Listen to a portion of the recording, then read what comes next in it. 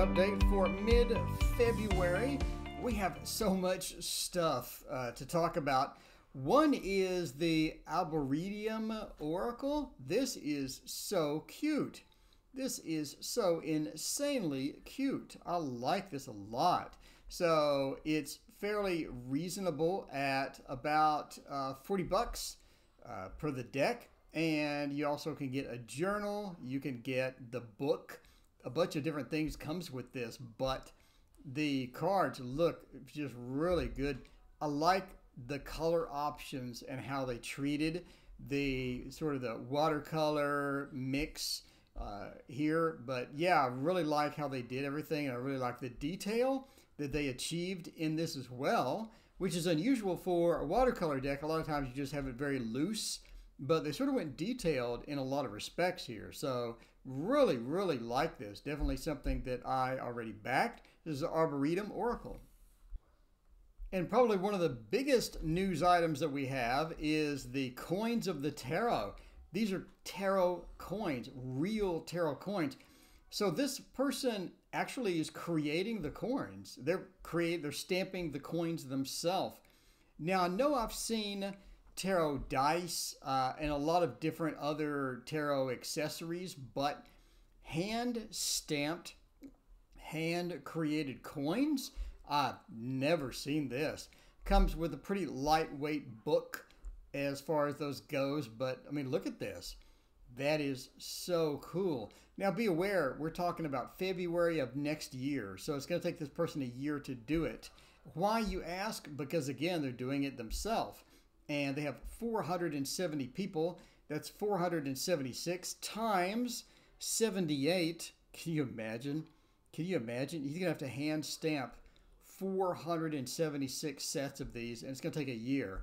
But that said, the prototype sure looks good.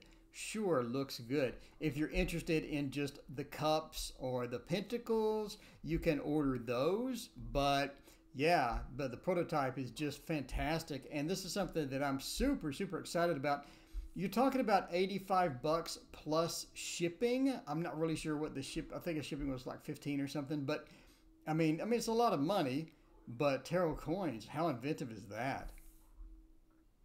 And the catharth, yeah, the catharsis tarot is on Kickstarter. This is extremely interesting looking.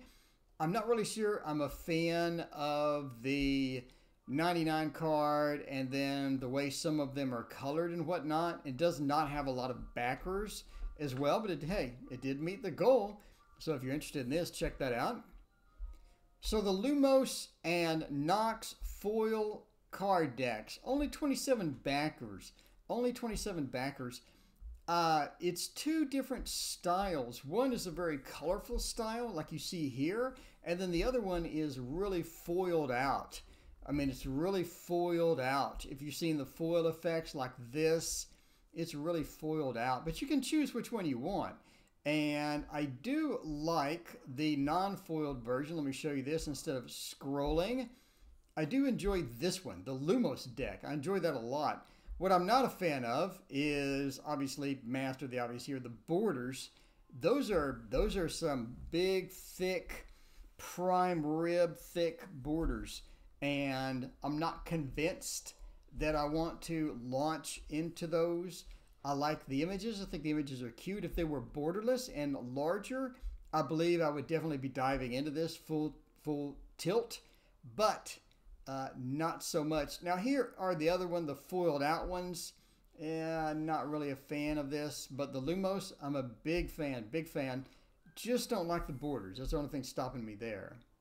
So Fyodor Pavlov has hit the scene quite hard.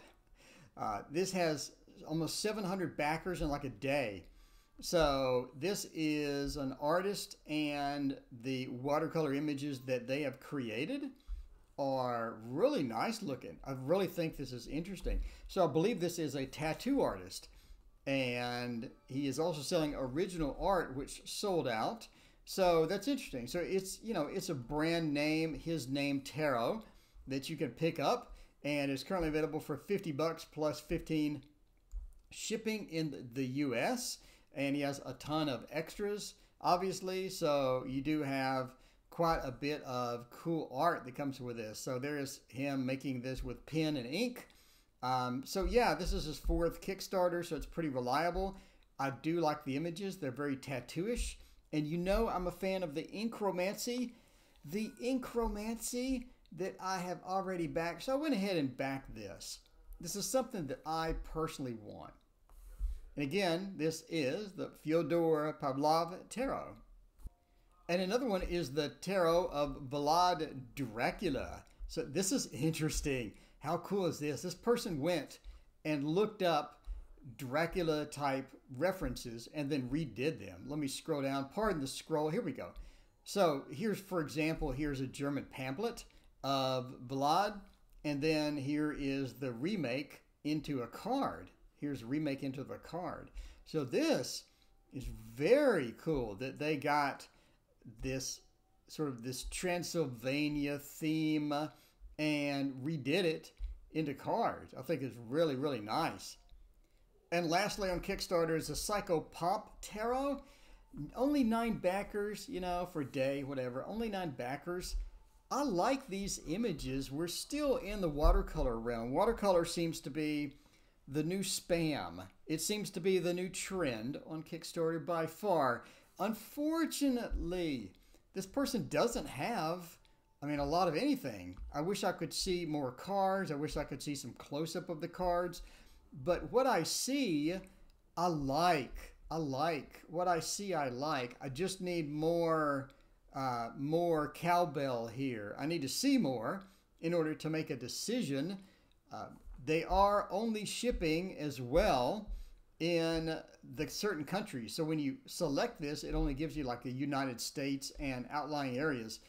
But it's 40 bucks plus I think it was 10 bucks shipping or something.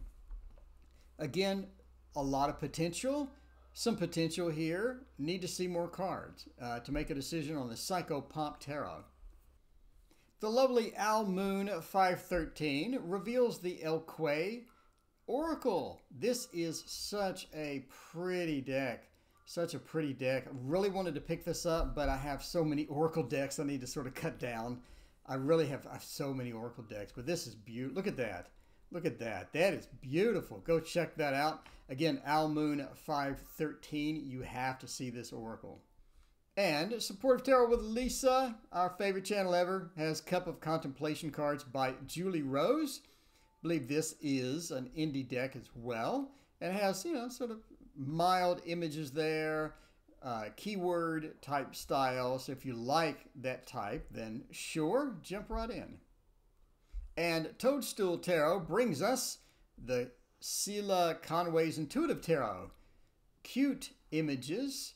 Again, sort of that, you know, sort of loose style if you're interested in this intuitive tarot, I think this looks fairly decent. I do enjoy the images. I think that they did a good job on these. And everybody's favorite, Papa Squirrel, gives us the Magic of You Oracle in traditional Papa Squirrel style, to where he'll show us the cards, show us the size, show us the quality, and then give us a full frontal view of all of the various cards. And Andrew Baker brings us a 78 Tarot Elemental unboxing. By the way, this is stunning artwork. Look at this artwork. If you're interested in this, you can pick this up from her site. Wow, look at this. This is a no-brainer purchase for me. Absolutely no-brainer purchase for me. It's just stunning in every possible way. It is devastatingly beautiful to me. This is so well done. So much detail. If you're interested in this deck, by the way, you can pick it up at 78tarot.cards. It is 60. It is 60. I'm not really sure how much shipping is. It ships from Virginia. And I believe this is available right now. So, yeah, this is something that is an absolute no brainer. So, 78 Tarot Elemental V Love and Crystals has so much good stuff. V Love and Crystals, go check her channel out immediately. The Witching Hour Oracle deck, she calls it Silky Smooth. And the images are pretty cool looking as well. Check these out. That looks really nice. I like communication, reach out. It's very sort of uh, very sort of simplistic and samey as far as the background is concerned, but I do like the work that was put into it. It looks nice. And Boy Diviner brings us the Orion's Tarot. This was on Kickstarter, and a lot of people were excited about the edges. They had different edge options and a lot of different sort of holographic edges, I believe. So these are very, very pretty. I did not back this because I was kind of short on cash at the time, but I sure wish I kind of had now that I'm seeing it, you know? Now that I'm seeing it. Uh, this was also called the Oreo Tarot as a joke. So in case you heard the Oreo Tarot sometime, that but look at the cards. How pretty is that? How pretty is that? I really wish I had backed it, but short on cash at the time. But yeah, Cosmic Animal deck, well done, cool edging, beautiful uh, images. And Tarot, Your Truth it brings us the ancient enlightened tarot. I believe I believe this was a remake, obviously a remake of Sola Busca, but I'm not sure if this one was where they tried to convert the Sola Busca into more tarot-friendly cards. There was an effort by one of the Etsy people to convert it into more uh, tarot traditional so that you'd have a definitive one-to-one mapping with tarot cards. So I'm not sure if this is the one or not, but it is very colorful, and I like what they did with it. This is available on Etsy, I believe. So, Kit Waits and Tarot gives us the Accurate AF, you know what that means, Accurate as F Tarot review. It's obviously circular deck. Very, very interesting as far as how they colored it and how they approach the cards and sort of this minimal use of color and obviously the round deck. Not a fan of round decks, but this one does look very attractive. And Tarot Your Truth also brings us the Tarot Serene. Look how cute this is. Look how cute that is. And V-Live and Crystals, great channel by the way, gives us the Earth Power Oracle deck. Earth Power, look how pretty that is. Earth Power Oracle deck. Let's, let's see some of the cards close up. I want to see some of the cards individually here. Um, yeah, like this they did a nice job with this. I like the incorporation of the images with sort of that drawing style. Yeah, I'm pretty, I'm a big fan of this. This looks good. And I like how it has more detailed explanation at the bottom as well. That really helps in some of these Oracle decks where you're not really sure how to, you know, you don't really want to go to the book, basically. And Hermit's Cave, Simon brings us the first look at the Dream Decoder cards. How interesting is that? I like dream cards. I do like dream cards because they give us a different perspective on where we're sort of headed to. And these look uh, minimalistic, obviously, but I like how the back gives us uh, more information. Instead of just a standard day to day, everyday boring back, you have some actual info back there. And Ethany, by the way, brings us a Curious Oracle deck unboxing and first impressions. How cute is that? I like the little style. I mean, it's a small deck, right? It's a small deck. Uh, Honeybee, Lotus Fire, Broken Wing. How interesting. Artwork is cute, and the borders are a bit thick, but they do contain the information that you need on them. So I think that's kind of nice. A bit, a bit small for my taste. If I'm getting an Oracle, I know I'm picky. If I'm getting an Oracle, I like a larger deck. I, just do, unless it's going to be uh, a Lenormand or something.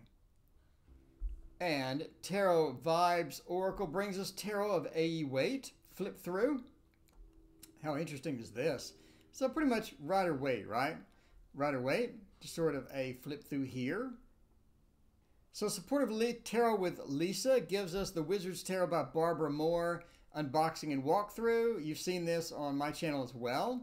Wizard's Tarot is a nice, big, thick kit. By the way, very big, thick kit. Barbara Moore, always, always a pleasure to get Barbara Moore's stuff. And there we have it. So she got a, I believe, a, um, a advanced copy from Barbara Moore. I'm not really sure how that works, but I know Llewellyn has released this if you're interested in it. Also, a review and flip through on my channel as well. And Truth in Story brings us a spacious tarot walkthrough. How pretty is that? I really like this one. Very minimalistic, but the color combinations and how they treated some of the cards is very interesting. And Papa Squirrel brings us the Supra Oracle. Supra Oracle. Check this out. Black and white, minimalistic. Um, but yeah, the artwork is pretty stunning on this. The drawing techniques are great. And Oya's Girl brings us the Hoodoo Tarot. Hoodoo Tarot is, I believe, new and is very interesting tarot as well. Let's check out some of the cards here. There we go. Hoodoo Tarot if you're into Hoodoo, I know this has been on pre-order for a while, and I'm excited to finally see it come out. And I do like some of these images. I wish it was more colorful, but I do like some of the images. And Tarot Oculus brings us the Carnival at the End of the World. How interesting is this deck? And Simon at the Hermit's Cave brings us the Crystal Skull Tarot by Jesse Driscoll. Now this is a very pretty deck. Well, well done. Uh, if you like this style, again, a bit on the minimalistic side, but I like how they use the colors. I like the blending of the images, and overall, I think it's quite a fascinating deck. Very unusual. And Strength from Tarot brings us the El Goliath Tarot deck. El Goliath Tarot deck, very, very large cards very uh, substantially large cards in a very thick box as well. So if you like this style, black and white with unusual images, but a lot of information. There's a lot here to sort of let your intuition pick up on and run with, right? A lot to sort of run with as far as intuitive is concerned, images is concerned, and a lot of work looks like it was put onto this as well. And Papa Squirrel also brings us the Jonasa Jaus Tarot. Look at this. A very unusual deck for sure, and wildly colored as well. Let's check out some of these images. Yeah, that is pretty cool looking. That is indeed pretty cool looking. And Heather Carter brings us a Sacred Destiny Oracle. Sacred Destiny Oracle, how pretty is this? I really like the blending of the images with this. I like uh, where they went with this. They sort of just picked up images and ran with it, or they just sort of picked up the style of particular images and ran with it. I like the sort of the almost the carnival type uh, feel to this, otherworldly type feel to this. I'm a bit booked up on oracles, but this one is very well done. And Mindful Tarot brings us the Eight Coins Tattoo Tarot, the US Games versus the Indie Edition. Wow, look at the color difference between those two. Look at the color difference. Wow, that is really desaturated on the left. Can you see that? I mean, that is they that is remarkably desaturated. I don't know if it's maybe the the gloss on the card that makes the one on the right look so much better, but yeah, not only larger, but looks very very good. Eight coins tattoo tarot. I'm a big fan of tattoo tarot and I think that this was well done. I'm still looking look forward to Incromancy, which is on Kickstarter right now. I did back that one, and I think that one's going to be wild. But yeah, this is very pretty deck. And did you know I had a Patreon? That's right, Patreon, where you can throw a couple of bucks my way to help me with stuff that I pay for, basically. So Patreon helps support the channel. If you're interested in the channel, you like the channel content, throwing a couple of bucks my way, I would greatly appreciate it. It's a subscription service, so you just basically subscribe for a couple of months and throw a couple of bucks my way. My current Patreon supporters are Adam G, Ali Cat, Annie, LaMaster, Bethany Killian, Brianna Santiago, Carmen Gabriano, Carolyn Bouchard, Crystal McGinn, Dominica Mezepa, Fatima, Galatia 9, Gary Fink, Irina and Jessica Mante, Kim Wilson, KSW La Ami, Maureen Morley, Mirkiolis Gomez, Richard Zeh, Shintaro Kuga, Sinai Zamora, and Sophia. Thank all of you for being my supporters. If you would like to join the crowd of Patreon supporters, link in the description where to join. Patreon supporters get all sorts of bonus content not available anywhere else, including my book, uh, all the handouts for all the courses, etc., are available there. So come check me out for some bonus content. And I appreciate all of your support. And as always, please hit like and subscribe. It graciously, greatly helps me out. Thank you so much and have a great day.